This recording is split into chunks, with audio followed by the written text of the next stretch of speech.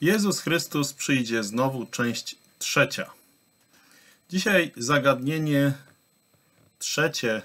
Czy biblijne proroctwa rzeczywiście się wypełnią? Dowodów na wypełnianie się biblijnych proroctw jest wiele. Setki proroctw Starego Testamentu już się wypełniło. Wiele z nich wypełniło się już w czasie starotestamentalnym, w czasie starotestamentowym.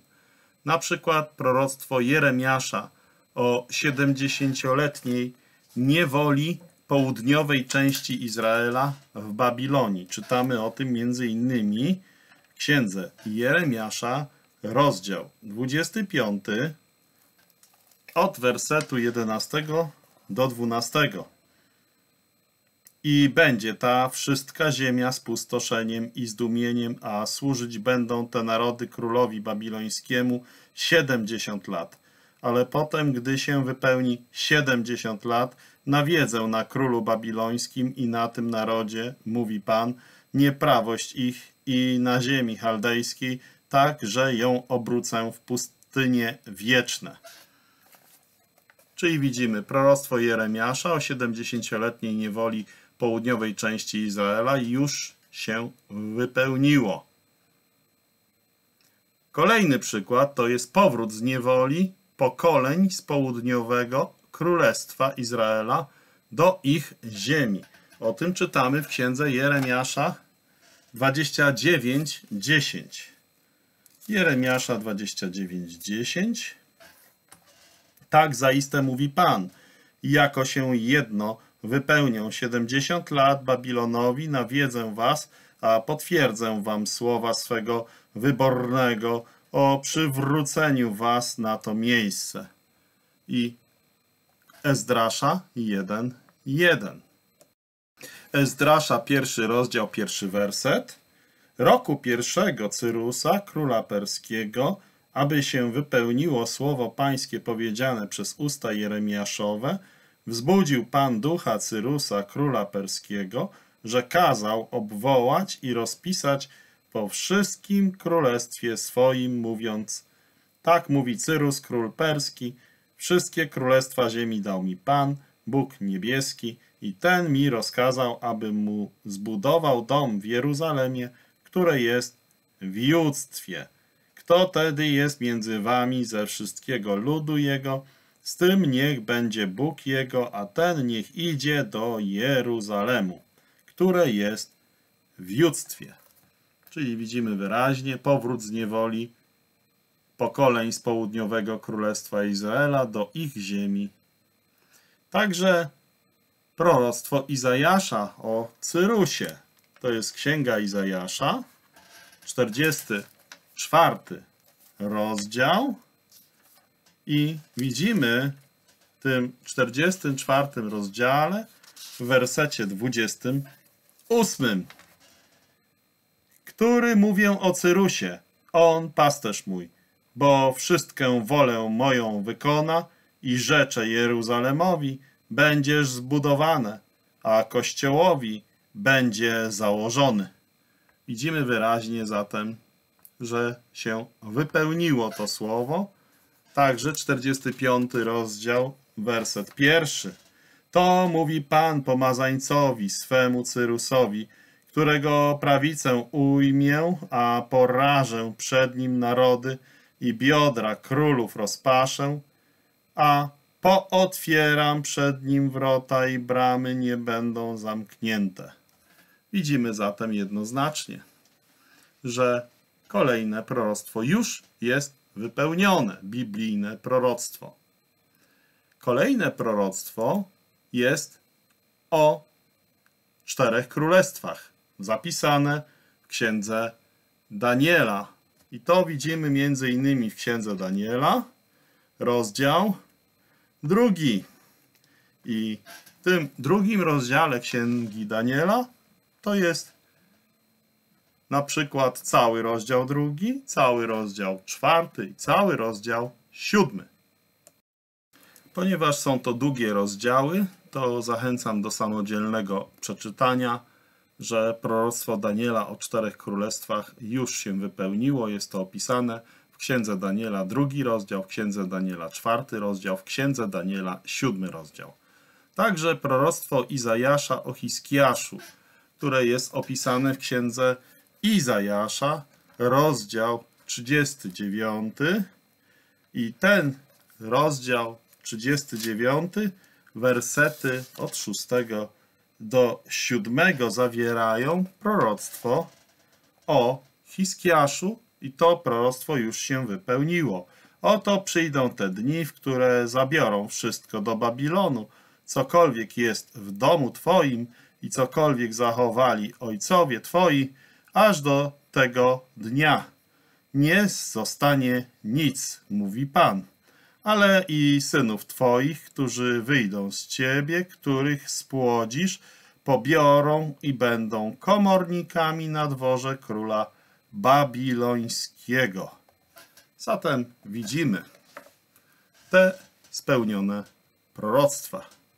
Wypełnienie się słów jakiegoś proroka było przesłanką do tego, że był on posłany przez Boga. To mamy zapisane w 5 Mojżeszowej, 18 rozdział, 22 werset. 5 Mojżeszowa, 18, 22. Jeśli by co mówił on prorok w imię pańskie, a nie stałoby się to, ani wypełniło onoć, to jest słowo, którego nie mówił Pan, z hardości to mówił prorok on, nie bójże się go. Czyli widzimy wyraźnie, że to jest bardzo ważne, aby to zauważyć. Wszakże prorok, który by sobie hardzie począł, mówiąc słowo w imieniu moim, którego mu mówić nie rozkazał i który by mówił w imię bogów obcych, niech umrze prorok takowy. I to jest jednoznaczne, że kluczowe jest, że proroctwo musi być wypełnione, jeśli jest od Boga. Wypełniło się także wiele proroc dotyczących narodzenia, życia, cierpień, śmierci i zmartwychwstania Pana Jezusa, jak to opisano w Ewangeliach, na przykład w Micheasza 5.1. Micheasza 5.1 albo 5.2 zależy od numeracji, ale ty, Betlejemie Efrata, a cześ najmniejszy między tysiącami judzkimi, z ciebie mi jednak wyjdzie ten, który będzie panującym w Izraelu, a wyjścia jego są z dawna, ode dni wiecznych. Także Daniela 9:26, Księga Daniela, rozdział 9, werset 26. W tym fragmencie znajdujemy także proroctwo o Panu Jezusie, a po onych sześćdziesięciu i dwóch tygodniach zabity będzie Mesjasz, wszakże mu to nic nie zaszkodzi. Owszem, to miasto i tę świątnicę skazi lud wodza przyszłego, także koniec jego będzie z powodzią i aż do końca wojny będzie ustawiczne pustoszenie. Także psalm 22 cały jest typowym proroctwem pokazującym na osobę Pana Jezusa. Boże mój, Boże mój, czemuś mię opuścił, oddaliłeś się od wybawienia mego, od słów ryku mojego. Boże mój, wołam we dnie, a nie odzywasz mi się i w nocy, a nie mogę się uspokoić. Aleś Ty, święty mieszkający w chwałach izraelskich, w Tobie nadzieję mieli ojcowie nasi, nadzieję mieli, a wybawiłeś ich. Do Ciebie wołali, a wybawieni są. W Tobie nadzieję mieli, a nie byli pohańbieni. Ale ja robak, a nie człowiek, pośmiewisko ludzkie i wzgarda pospólstwa. Wszyscy, którzy mię widzą, szydzą ze mnie – wykrzywiają gębę, chwieją głową, mówiąc, Spuścił się na Pana, niechże go wyrwie, niech go wybawi, ponieważ się w nim kocha. Aleś Ty jest, któryś mię wywiódł z żywota, czyniąc mi dobrą nadzieję jeszcze u piersi matki mojej. Na Tobie spolegam od narodzenia swego, z żywota matki mojej, Tyś Bogiem moim. Nie oddalajże się ode mnie, albowiem utrapienie bliskie jest, a nie masz kto by ratował. Obtoczyło mię mnóstwo cielców, byki z basan obległy mię. Otworzyły na mię gębę swą jako lew szarpio, szarpający i ryczący. Rozpłynąłem się jako woda, rozstąpiły się wszystkie kości moje, stało się serce moje jako wosk, stopniało pośród wnętrzności moich, wyschła jako skorupa moc moja, a język mój przysechł do podniebienia mego, nawet w prochu śmierci położyłeś mię. Albowiem psy mię obskoczyły, gromada złośników obległa mię, przebodli ręce moje i nogi moje. Zliczyłbym wszystkie kości moje, lecz oni na mię patrząc przypatrują mi się. Rozdzielili odzienie moje pomiędzy się, a o szaty moje los miotali, ale Ty, Panie, nie oddalaj się mocy moja, na ratunek mój pospiesz. Wyrwij od miecza duszę moją, z mocy psiej jedynaczkę moją, wybaw mię z paszczęki lwiej, a od rogów jednorożcowych wyzwól mię. Tedy opowiem imię Twoje braciom mym, w pośród zgromadzenia chwalić Cię będę mówiąc, którzy się boicie Pana, chwalcie Go, wszystko potomstwo Jakubowe wysławiajcie Go, a niech się Go boi wszystko nasienie izraelskie. I widzimy jednoznacznie wypełnione słowo, także Izajasza, 53 rozdział. Izajasza, 53 rozdział.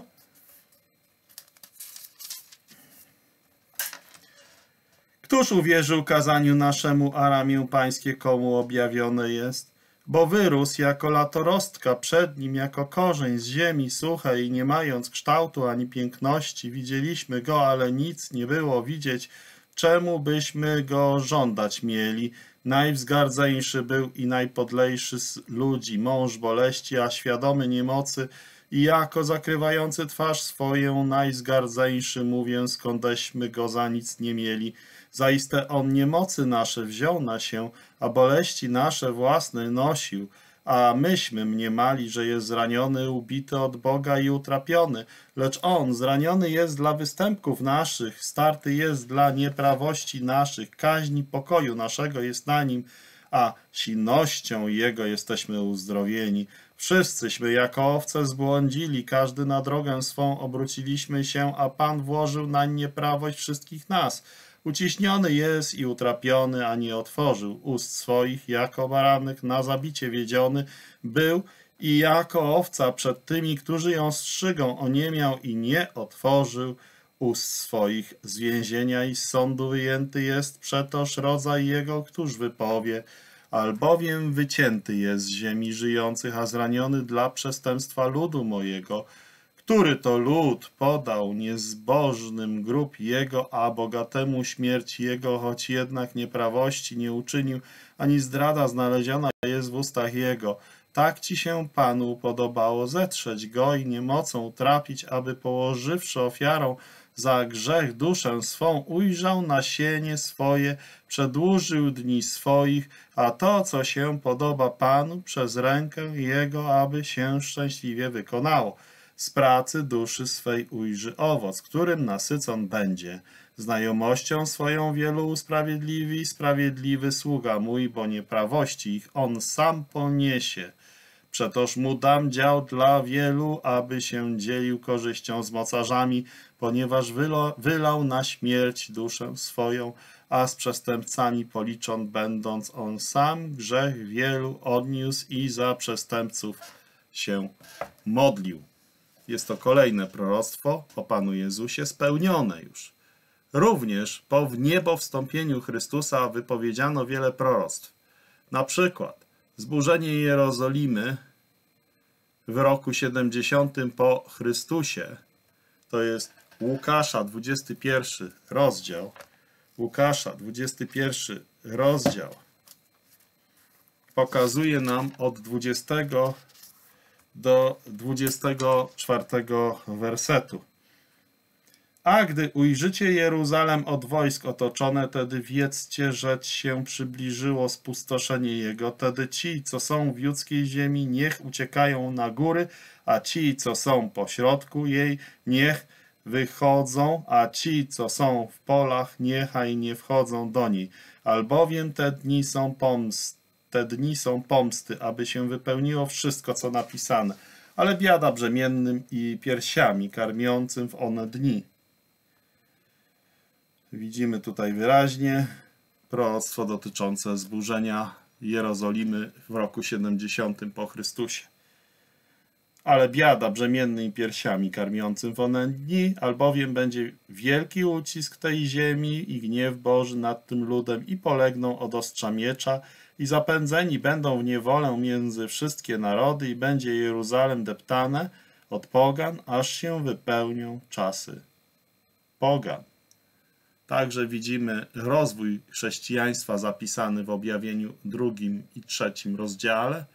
Także wypowiedzi dotyczące końca okresu chrześcijaństwa, na przykład drugi list do Tymoteusza, rozdział trzeci. Żadna inna księga istniejąca na świecie nie może się poszczycić tak wielką liczbą precyzyjnych, dokładnych, wypowiedzianych i spełnionych proroctw. Ich dokładność i liczba nie pozostawiają żadnych wątpliwości co do wiarygodności Biblii. Tak samo spełnią się wszystkie proroctwa dotyczące przyszłości. Była to trzecia część serii Bóg darował nam proroctwa dotyczące właśnie tego, że Jezus Chrystus przyjdzie znowu. Czyli trzecia część serii Jezus Chrystus przyjdzie znowu.